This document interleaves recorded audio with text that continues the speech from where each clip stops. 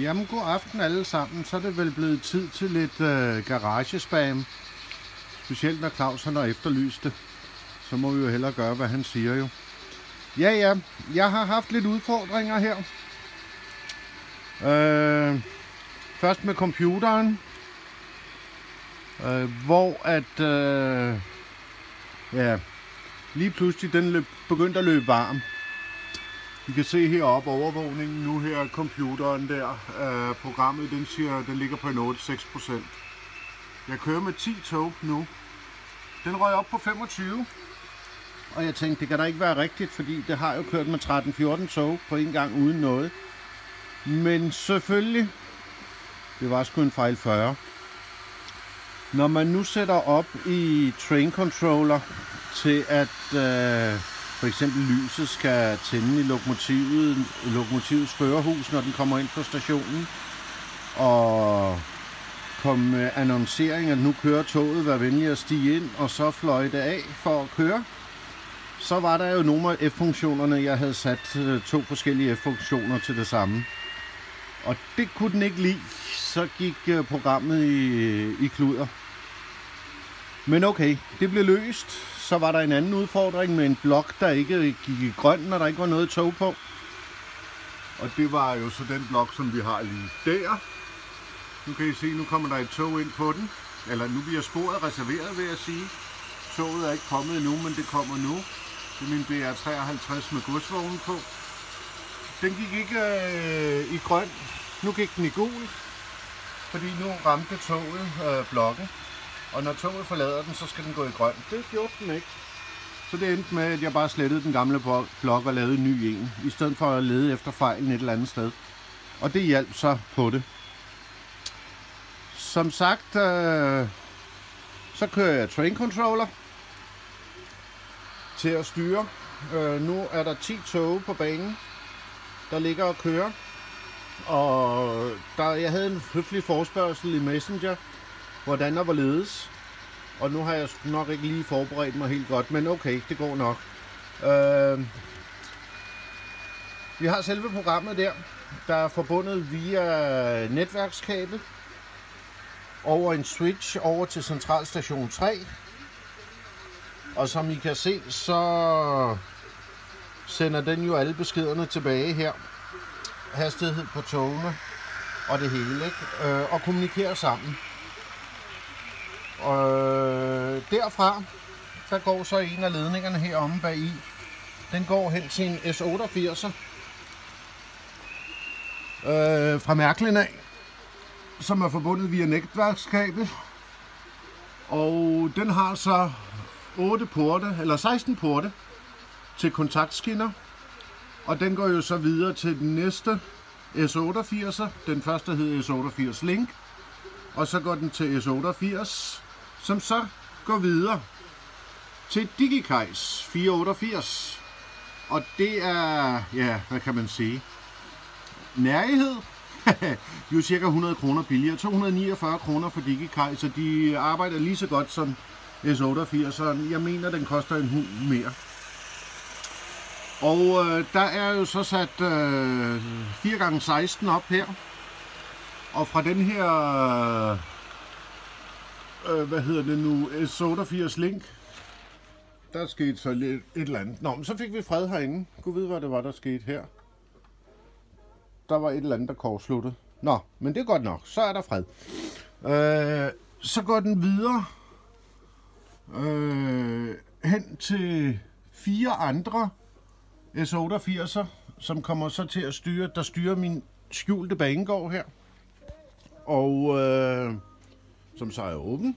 Det har vi jo været inde på før. Der var en eller anden kortslutning. Den får vi lige løsnet op, så vi kan få noget støj bag i jo. Sådan der. Skal vi se, om den så går i gang igen.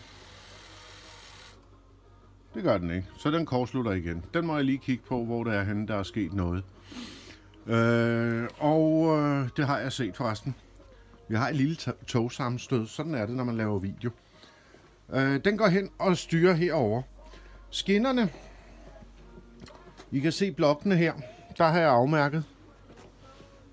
Her, der er de isoleret i hver side. Det vil sige, når der kommer et tog henover her, så dannes der en forbindelse mellem de to. Fra den ene af dem, det er den højre her, der går tilbage til en S88'er, som så registrerer det og sender det videre over til computeren. Så har jeg den næste blok her, og det er en lang blok. Den går hele vejen ned her, og hertil, hvor jeg har en lille blok. Det vil sige, på hver spor her har jeg tre blokke. Det er lidt overkill, når du bruger train controller, fordi at øh, det behøves du sådan set ikke.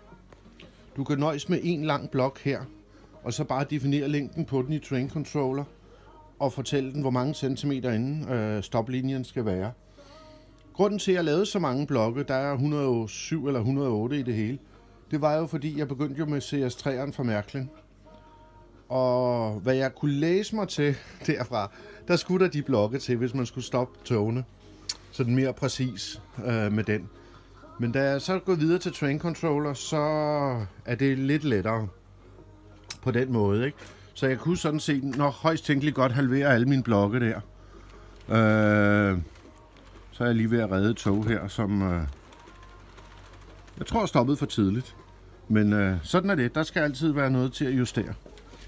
Øh, men øh, ej, jeg tror, det var skiftesporet, der skiftede for tidligt, inden toget var kommet ind på plads. Det er jo ikke godt.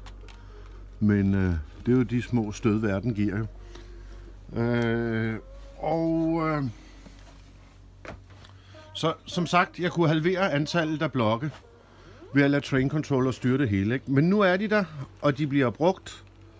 Og det giver så nogle fordele, når man begynder at arbejde med train controller, at man kan have en blok, hvor det har afsnit i den. For eksempel her med banegården, øh, der har jeg øh, lavet det. Den skjulte banegård, når de skal ind og hvile derinde, når den bliver væk, så behøver de jo vognene jo ikke stå med lys på. Det vil så sige, når de passerer det punkt, som jeg har defineret i train controller, så slukker den lyset efter 30 sekunder, og lyden og det hele. Så kører den ind, når den så kører på plads, så bliver der helt stille. Lige så snart toget bliver kaldt frem igen, så kommer det her, så kommer der lys og lyd på lokomotivet og lys i vognene. Øh, og det kommer automatisk. Øh, forløbet har jeg kun lavet det i spontan run, hedder det. Hvor at øh, jeg bare siger, kør, og lad være med at støde sammen. Det lykkedes så ikke endnu, men det er nok den der F40-fejl igen, at jeg ikke har defineret noget ordentligt. Og øh, det er smadret smart.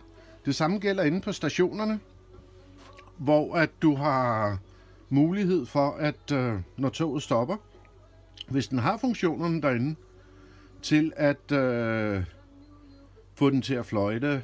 Øh, for eksempel, at den damplokomotiv ryster resten, når den står derinde. Og øh, jamen, der er alt muligt. For eksempel også herved, hvor jeg har planlagt tunneller, der øh, fløjter de eller hyler i hornet, før den kører ind i tunnelen. Så det, øh, det er også rigtig sjovt. det giver noget mere realisme, ikke? Men ellers, øh, så som I kan se, det ligner sig selv her. Baggrunden hænger der endnu.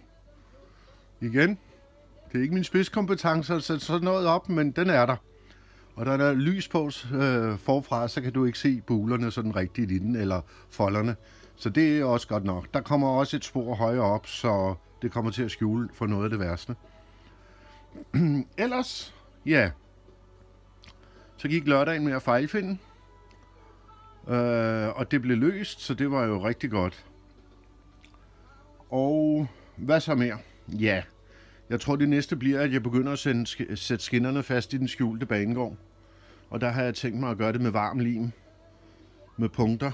Øh, det behøver ikke at blive kønt, men varm lim har den fordel, at det kan nulle sig af igen, hvis man skulle øh, øh, bruge skinnerne anden sted, eller flytte rundt på det, ikke?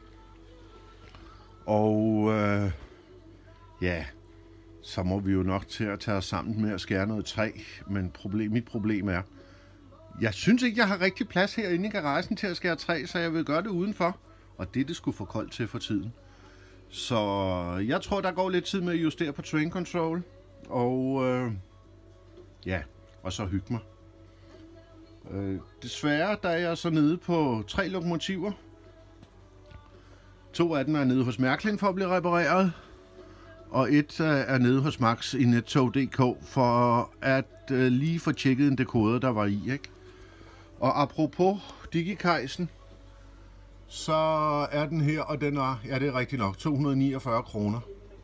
Og den fungerer fint ved en CS3'er, hvis man vil øh, bruge den der. Jeg tror, du skal have en S88 link først foran øh, fra Mærklin. Øh, men det er værd at tjekke. Det ved de nede i Netto. Så det er bare ned og spørge. Eller ringe, eller hvad. Så, så det var lidt garagebæren for mig. Det blev sgu også til 10 minutter i dag, ikke? Det er utroligt, sådan tiden går hurtigt, når man snakker, ikke?